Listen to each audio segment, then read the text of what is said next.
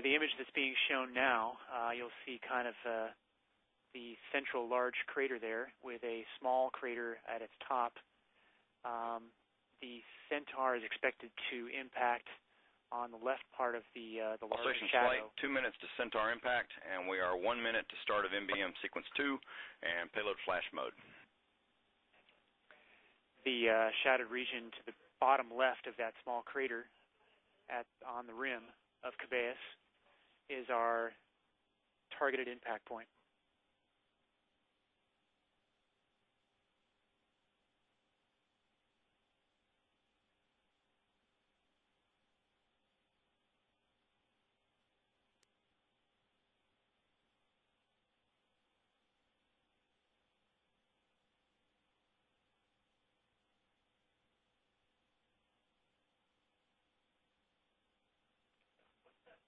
Rusty uh, Hunt, the flight director, announced uh, earlier that uh, NBM sequence 2 would be running soon. That is the flash sequence, uh, the beginning of the science sampling sequence that governs the remainder of the observation. All stations flight, mark 60 seconds to Centaur impact.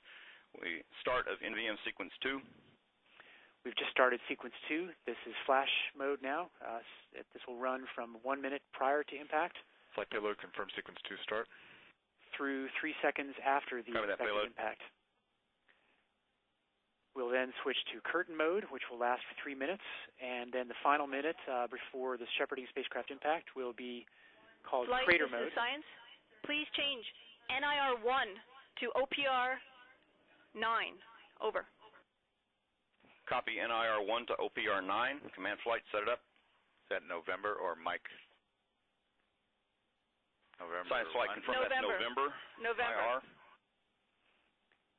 We are uh, the science team is now communicating to the flight team to uh, adjust some camera Science levels flight, confirm near infrared, November, correct?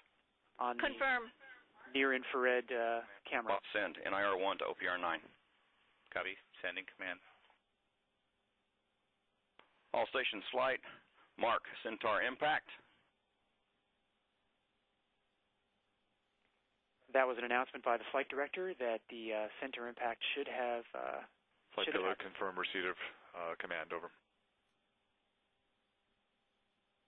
Flight payload curtain start. Over.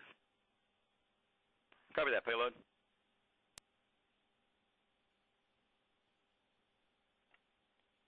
We should be looking for uh, some signs of the impact on the leftmost part Command of the standing uh, by with mid-infrared changes. the left side of the shadow, right below the uh, the dimpled crater on the crater, the larger crater rim.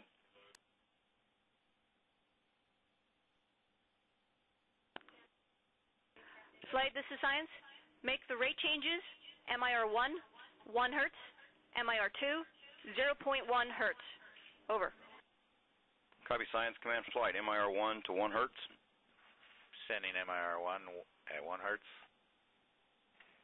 And the science team is directing the flight team to adjust the uh, sampling rate of some of the instruments to fit within the 1 megahertz, uh, Ready with MIR 2 at 0.2, at 0.1. the 1 megahertz signal limit.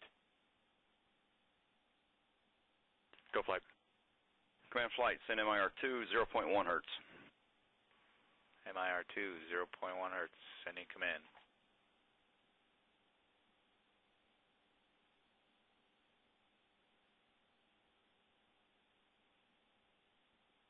Flight confirm receipt of command. Over. Copy that, payload.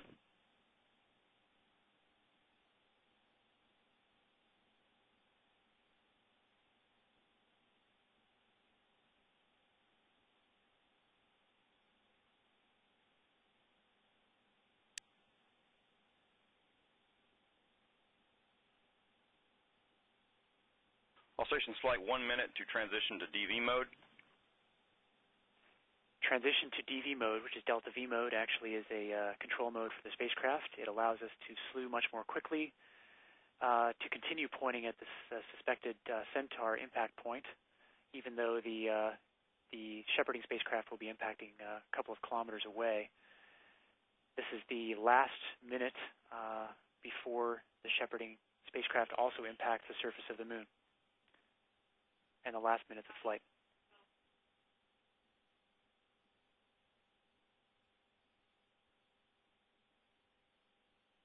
We're watching the remaining few seconds of uh, the LCROSS mission as we approach very rapidly the surface of uh, the Cabeus crater.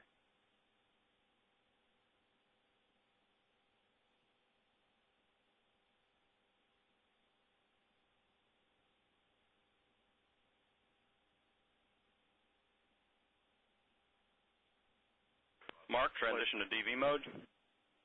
Flight payload confirmed NIR2 OPR change request. NIR 2 to OPR 10. Over. Is that November? Copy. NIR2 to OPR Yes, confirmed. 10. November. Ready? Command flight send November IR2 to OPR 10. Command sent.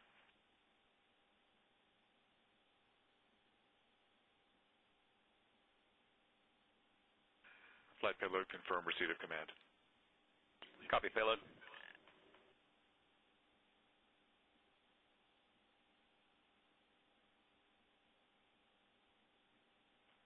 These are Stand by for shipping spacecraft impact.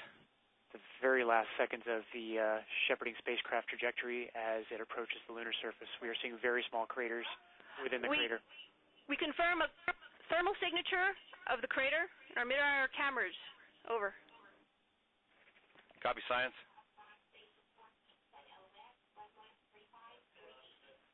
We just All received flight shepherding s- spacecraft impact. Stations report LOS. the uh, ground stations at Goldstone just reported a Last hit termination of telemetry. 1135 35.054 seconds. The shepherding spacecraft has hit the surface of the moon, and this marks the end of the LCROSS uh, flight mission.